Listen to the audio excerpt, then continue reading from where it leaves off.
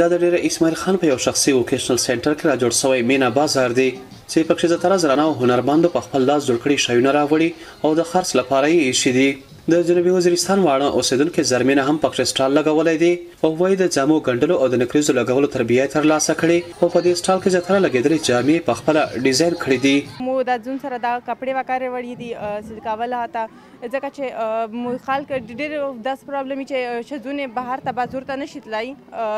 تو کور کې نه پرېږي اجازه ته نه ورکوي بیا چې دلته چې وی کنه دلته وروشي جنګي وي کالج ولې وي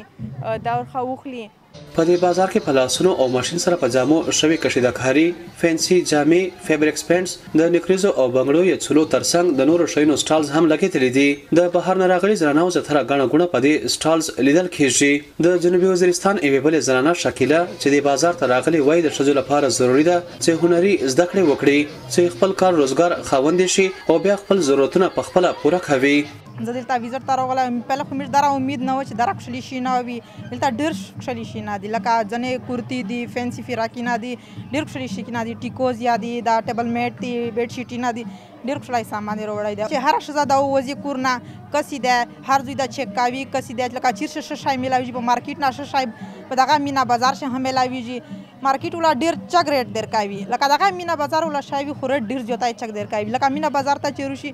شزه غا هغه سره وشي همات هغه سره پیدا شي لکه کور نه هوبزي او شای هشمین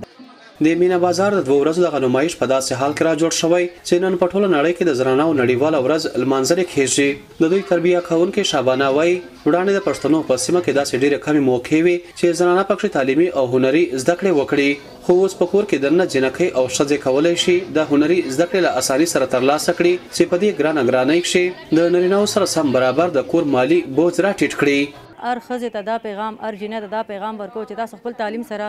هنر لازمن زده کړي چې نن کوم هنر موږ دوی له ورکو په دې هنر باندې دوی خپل بوتیک سره هم کار کولی شي دوی په خپل کور کې هم کار کولی شي چې دلته یو سوټ سلۍ وکړي نو د خپل آن جان خرچه هغه چتولی شي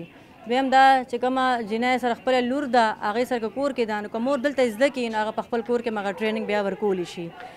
او سلۍ د دوه سوټه سلۍ یو کې نر وس کې نو زه وایم چې کور کې خو ماشاءالله خو زبردسته ګزاره کیږي. که څه هم زنانه د ابادۍ په کچه د نرینهوو په پرتله په نیمایي سواد دي، خو بدبختانه په پښتنه ټولنه کې دغه زنانه د بندیزونو، د وسله والو له خوا ګواښونو او د اسانتیاوو د نشتوالي له امله له تعلیمي او هنري زده کړو څخه لرې ساتل کېږي. پوهان وايي که په ېوه ټولنه کې زنانه زده کړې تر لاسه کړي، دا به د ېوه روښانه مستقبل زېری وګرځېږي. عدنان بېټنای، وي او ای، ډیوه.